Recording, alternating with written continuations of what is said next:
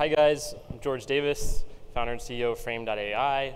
Uh, my talk here is on bias, variance, and data products, and I'm going to explain what that means in a second, but I hope everyone has merely had their appetites whet for discussing data products by the uh, great uh, keynote we just had. Um, I'm going to talk a little bit more about practitioner work and, and how we actually go about building teams and informing those teams to build data products. But first, just a little bit about me, or more accurately about my company.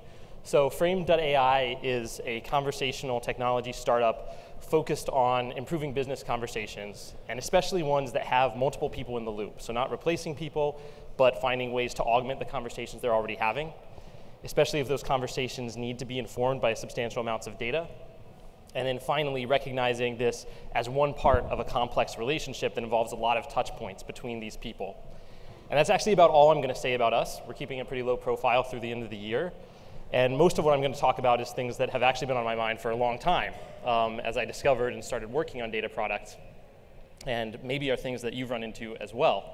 And let me just ask to start with how many people here are currently working on data products as opposed to other kinds of operational data science? Okay, I see a lot of hands half up. Is there, maybe there's like ambiguity about what data products mean. In my case, I'm talking about systems where they're making decisions that are informed by and determined by substantial amounts of data that might not even be available at the time that you're designing the product. Uh, and this is actually something that's been happening for a really long time. Uh, so well before I discovered the term data science, uh, I was chasing data around, and I'm sure many of us were, under the guise of scientific computing. And we found these in early technologies like network analysis, search, bioinformatics, GPS and logistical analytics, automated trading. And it wasn't until I kind of poked my head out of the automated trading world and went to Knewton, where I headed up data science before starting Frame.ai, that I realized that this was, we were living through, I had this Forrest Gump moment that something really fundamental had changed about my career, which I thought was pretty much set, which was teaching computers to do, uh, to make scientific inferences from data. And what had changed was there were suddenly consumers who were extremely aware of the data that we had about them. They were aware of the value that could be produced by products that utilized that data, and they were starting to form expectations. And companies that wanted to deliver these products needed people to help manage those expectations and understand uh, what the data actually could do for them. And so this data science term, which when I first encountered, I thought of it as kind of just a branding thing. Sorry, DJ and Jeff. But uh, the need for branding was very important because you, we suddenly needed to be able to set and maintain user expectations. Uh, and, they, and users needed someone to blame when those expectations weren't met. And I think blame is actually the right word in a lot of cases. So I've got blurbs up here from five incredible products. These are products that objectively do uh, amazing things, and yet they have failure modes that are very common knowledge, very well publicized, and get a lot of specific derision. It's because if you have a system that does objectively amazing things, but then sometimes does objectively stupid things, it's very easy for people to focus on the latter. It's much easier to lose trust than to build it. And so the process of escaping these we need new processes for building products that escape these traps and that set expectations as well as we possibly can. And many of us, I think, in this room are either part of those processes, are designing those processes, or uh, uh, at least at the other end of, the, of them. And I think one of the things that causes a lot of complication in the development of data products and in the set of, setting of expectations is that data products inherently violate one of the key principles of product design, which is principle of least surprise. In some ways, if a data product isn't capable of surprising you, if it's not learning something from the data that you couldn't have defined a priori, then it's not really doing its job.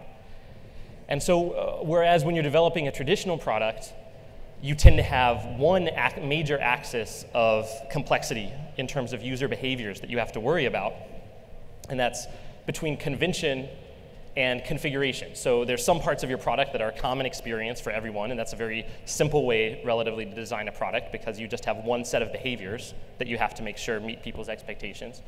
And then configuration, where you actually have people able to use the product in very different ways and express their own needs and have a different product experience.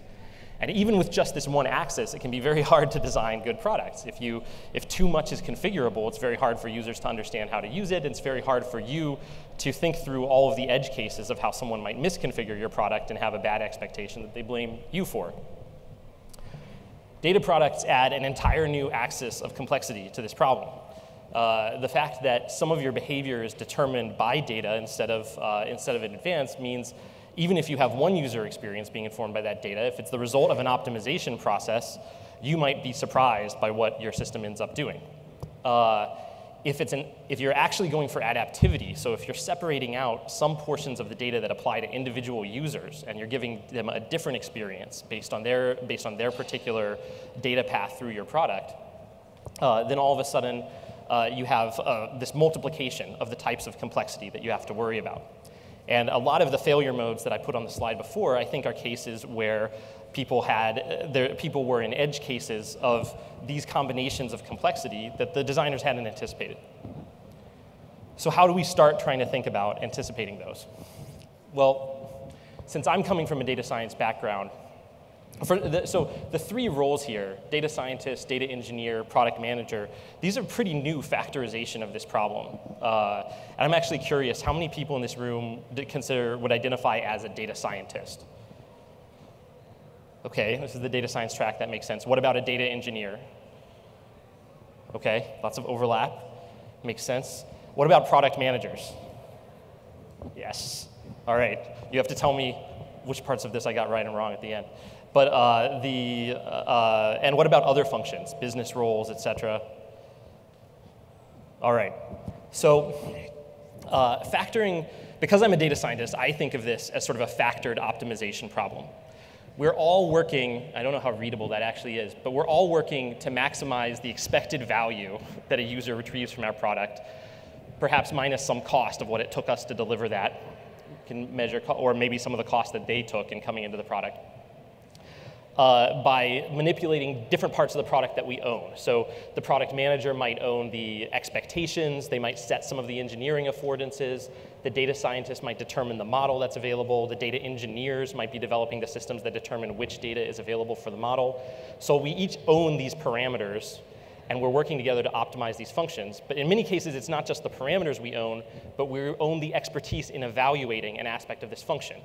So the, the data engineers are in a best position to understand what the costs in terms of a development cycle of adding certain data, uh, of reaching certain engineering affordances are, or making certain types of data available. The data scientist is more or less responsible for understanding the probabilistic aspect of the behavior. What's the distribution of your users? If we make these choices, what kind of distribution of experiences are people actually going to get? And the product manager is usually responsible for understanding what the value of those experiences is to the user and because this is incredibly high dimensional space, nobody really owns a, knowledge, a map of, their, of even their entire space. At best, we can kind of evaluate our functions, maybe uh, communicate a few gradients. And when we go through trading documents between each other or testing each other's work, we're basically doing this partial gradient descent on this function where each of us try to improve our little locus of the product. And one consequence of that is because all parts have to be able to, to act, to move forward, is that we get blocked all the time. Uh, so, you know, a data engineer can block a data scientist by making data inaccessible, not operationalized in the way they expected it, so they have to go back through and clean it.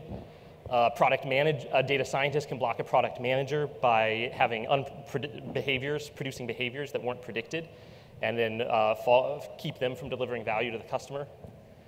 And pretty much everyone in here along the main diagonal uh, allows themselves to be blocked if they're not capable of stepping outside their function, if they can't actually, if they need to await sort of a perfect input from their collaborators in order to render some opinion or take a step forward on their part of the process. So this is a very fragile process. There's so many ways here, and anything that goes wrong on one of these lists can end up blocking the other ones. So how do we make it less fragile? Well, one thing we can think about doing is only hiring triple unicorns. What if, we, what if everybody we hired can do all of these roles and they just understand everything about the product? And that would be really nice. Um, if you find any of those, let me know. But this is kind of mostly joking, uh, but, it's, but there's a serious aspect to this, which is uh, when I'm hiring, one of the main things I focus on it, as soon as I know that someone has something to contribute, that they have some that they have some talent that extends the capabilities of the team, almost everything else is is this person unblockable? Can, are, we hiring someone who knows enough about their interface points to, uh, you know, to, to ETL their own way out of a data deficiency and so on? So there's that aspect when you're building your team. Another one is sitting together. It's a really simple thing that, and it's one of these things, if you've always been doing it, it's completely obvious, but it's surprising how many people don't do it. A lot of people actually prefer to sit in functional roles. They get to exchange best practices. They get to think about career paths. Uh, but if you're going to iterate on this problem quickly, you need to have up to the moment access to each other.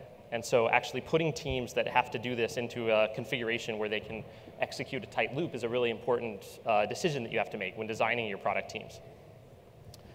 Uh, and then the final one, which is really the focus of this talk, is communicating trade-offs, not evaluations. So if you try to do a gradient descent where each of these people is only communicating where their function is based on the choices other people have made, then you won't be able to move forward very quickly. But if you can communicate to each other something about the directionality and the trade offs that you're currently facing right now in your function, then they can make some choices thinking for you and thinking, thinking around your problems, and everyone can move forward faster.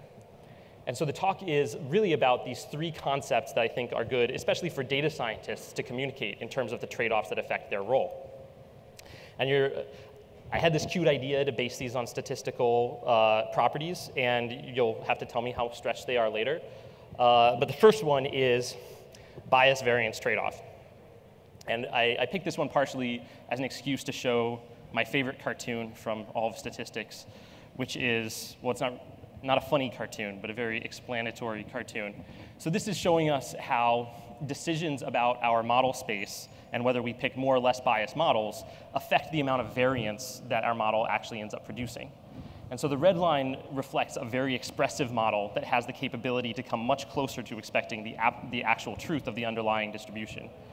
The purple line here is a, a, a model that is in some sense more wrong. It can't come anywhere near as close to actually encompassing this true distribution, but it is much more opinionated about what kind of distributions it might see. And as a result, even though it's not as objectively accurate as the other model, it varies a lot less when the data it receives varies. And that's very important to this principle of least surprise argument because it allows you, it's much easier to calibrate user expectations to a behavior that's not ideal than it is to calibrate user expectations to not having any idea what the behavior will be. So in plain English, the, the version of this trade-off is to keep in mind that the value your model produces is the product of the availability of plentiful data about the thing that you're studying, make the good assumptions your model makes about what, it, what shape it's what the form of it's trying to find in the data is, and the tolerance for error in which the model is deployed. And so if you're short on any one of these things, you better be very, very long in the other ones. That's what the bias variance trade-off tells you from a practical business perspective. And I think this is something that everyone involved in data products should know and sort of have in the back of their heads, whether you're at the business level, whether you're an investor, et cetera. And nine times out of 10, we try to solve this at the business level by making sure that we're doing something that's going to have access to a lot of data. I actually think that's an interesting uh, uh, I think there's a lot of interesting problems that we're going to be discovering that are more about medium-sized data than large data as opposed to big data in the near future. But even when you have uh, maneuvered yourself where, into a place where you have access to large amounts of data about a problem, uh, you have places where sparsity can sneak in. Few data sets are large in every way that matters. So on the left here, we've got a guy who is about to experience his first Black Friday if your data set has some form of seasonality that you have not yet experienced, you have an opportunity for an enormous amount of surprise coming down the pipe. Uh, at the top right, uh, if I'm trying to find a uh, leash for my dog, pet, puppy, cat, kitty, uh, then Amazon might put right up next to each other uh, two four-star products, one of whom, which has 2,000 reviews and the other one has 32. Um, reasonable choice, hard to know how to compare these. Really just pointing out here that any individual object in your data set might be at the beginning of its life, and there might be very little data about that particular object. So you have to think about every life cycle of a data entity. And then finally, even in a data set that's matured, where you, where you, have a stable and, and you, your product has been in the market for a long time, and you have a stable system that you're providing value to, you can have these power law effects. Humans love to produce power law effects because we kind of follow each other and we chase each other and we attach preferentially. And so if you're, the arrows are a little bit off here, but if you're delivering, if this is your social network, very mature, lots of people, the experience of someone on your new feed product is going to be very different if they're somewhere near the core of this network as opposed to someone near the periphery. And uh, I bet most of the people here have done this, but if you have friends who kind of live at the periphery of Facebook, it's definitely worth taking, a, or family, it's worth taking a chance to look at how different the product experience is of a lot of the things that you might take for granted, especially when, when features first come out. Um, so so e even in very large data sets, you can have sparsity that can really affect behaviors for some people. Um, so how do we solve this? And this is something I'm going to do for each of these, is I'm going to talk about some very well-known examples of companies solving this in ways that I think are pretty good. Um, and one of, and categorizing them. So one of them here is when you have a low amount, when you have an area of sparse data, fail over to a high bias model. Uh, so on the left, I thought this Google search result was very interesting. When I, when I re repeat my cat leash search, if I've just typed cat in an incognito window where I haven't already searched for cat leashes 100 times, it's kind of a hobby, uh, then Google it biases towards a set of returns that has a very high diversity in interpreting the word cat. So if you look closely at those first three examples, cat makeup is using it in the sense of the animal. In other cases, it's the first three letters of a place or the first three letters of a company that I might be looking for information on, and so on. But even after I've searched for cat leash once and it's remembered in my history, not only is it an explicit product feature to remind me that I actually searched for this, but the subsequent returns assume that usage pattern. Uh, so the experience changes as you accumulate data about the kinds of cat-oriented searches I perform. Um, another example here is when you create a new account on Amazon. Most of us who have been buying books on Amazon for a long time have enough history that things are lumped into a very generic recommended for you category that's presented. In some case, in this case, Amazon has accurately identified that with a one-year-old son at home, I like to buy books about mealtime, a little horse, and advanced programming in the Unix environment. Uh, on the other hand, with an incognito account that had done nothing except click on a single link, it failed over to a model that had many fewer degrees of freedom. So it, it instead, in the same slot, presents the you viewed, I am Brian Wilson, and as a result shows me a bunch of other musician biopics. The anchoring that suggestion on one, uh, on, on a single action makes for many few, uh, a model with many fewer parameters. And then they even explain their bias by, uh, by telling me exactly why I'm getting this recommendation. Final thing you can do about this is accepting and communicating the variance. This is actually the thing I see most rarely, maybe because in most commercial arrangements, people just don't accept much variance. There's not many things where we're okay not knowing what we're paying for, what product we're going to get. It disturbs the unit economics of a lot of relationships.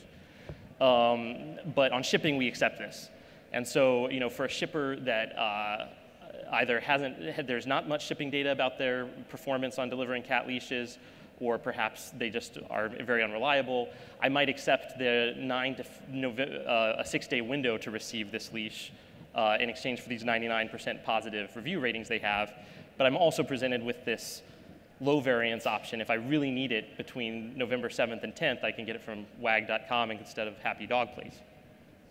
Um, so uh, accepting and communicating variance is also a technique that I think works much more often for internal products. When you're making projections, when you're making predictions that are going to be uh, interpreted inside a company, there's more of an opportunity to discuss the variability in your prediction. All right, next topic, precision recall. So uh, this section is mostly about thinking about user trust and how you maintain it while you improve your product over time. So uh, everybody, uh, there's all, lots of hands went up for data scientists. I expect everyone's familiar with precision recall, but just to recap, on the precision side, we have the, the idea that every time we sound an alarm, it should be accurate. Precision is how many of your total positives are true positives. Whereas recall is Well, if something bad happens, you definitely want to sound the alarm, and you don't mind having some false positives to do it. So, uh, so it is the percentage of total positives, of, of true positives out of um, all true. And in many cases, we have to make product decisions about a trade-off between these. Even if we have a very good model, we have to predict the confidence of the model at which we actually perform certain activities. And I'm going to suggest that in many cases, it's the extremes of, of these decisions that are most valuable for customers. And it's because they, have, they create a behavior that is very understandable and very predictable. So in, as an everyday example, uh, if I'm a bike messenger, I want to make sure that every time someone might run into me, they hear my bell. And I don't care how many people who aren't going to run into me also hear my bell. So I execute a very high recall policy on every time uh, somebody might run into me with even a small probability uh, ringing that bell. Whereas uh, if I'm a spam filter, the cost of a false positive for spam is very, very high. I don't want to actually get rid of that email. So I need a lot of precision, and it's okay if a few, uh, if a few bad emails actually get through. Um, in a single page of Google search results, we can see some really uh, examples of both of these in these products. So on the, on the uh, ad returns and on the search results, we can see the need for high recall products. You want to absolutely make sure that if there is a relevant ad, you're going to show it. And you want to make sure that if there are relevant uh, items on the internet, I guess that's kind of an old version of this problem, that they come up. But then you have these other features, these knowledge graph features that, uh, that take up a huge amount of the screen real estate. And you only want to do that. You only want to replace your ads and search results with these features if they have a very, very high utility. And so you need a very high precision for a behavior like that. And I think one of the things that's very interesting about this behavior is that it is one where the absence of the product doesn't actually eliminate the user experience. And that gives you some flexibility in how your product develops. If you can engineer your product in such a way that the data product is a nice to have and a value add, but there's some baseline experience that's supported if your data feature can't add value, then you can afford to take a stance where you can pick a threshold of very high recall or very high uh, precision and iterate and, and release your product early to begin, val- to begin gaining data but maintain this level of trust that when a user actually sees your product interfere, they, they know and they can trust that the thing they're being told is useful to them. And then iterating over time on how frequently you can provide that value. So you start with very high recall and add precision over time, you'll, you have one type of user trust. If you start with very high precision and add recall over time, then you have another. And a good example of this, uh, you know, I first started seeing those cards in my own Google searches five or six years ago. And now I see them all the time. And I found a statistic that about a third of Google searches actually have these knowledge graph instances. I think that's a case of a product being released very subtly, collecting a lot of data, and being able to uh, maintain trust as it, it added to the experience over time. And now I can find out very easily that the Steelers mascot is Steely McBeam, which I had no idea about even though I lived in Pittsburgh for nine years. So so precision recall is something for binary classifiers, but this obviously applies to lots of other kinds of data products too. The very general plain English version is discuss the relative costs of different kinds of errors in your data product very early and very often. Uh, if you have, uh, if at the heart of your data product is a multi-class classification problem, you can think about a cost matrix. If it's more of a prediction problem that's open-ended, you can think about a cost function. What's important is that that team of three people, the engineer, the product manager, and the data scientist, are discussing and are aware of the trade-offs when their model makes one kind of error versus another. All right, last topic here. Uh, this one doesn't have a good statistical analogy, or at least one that is highly recognizable. Uh, but I wanted to talk a little bit about coevolution. So I've set this up as an optimization problem that happens inside your company. These people, and, and when we talked about trust, we kind of started to think about how the actions inside your company affect your users. Uh, but the other dimension to this is that your users are actually going to co-evolve along with your product. So depending on what kind of value you're able to offer to them, uh, you're going to get they're going to have certain learned behaviors that they feed back into your product. And that can reach some equilibriums that have a big effect on the experience of the product for everyone. And it's not completely in your control.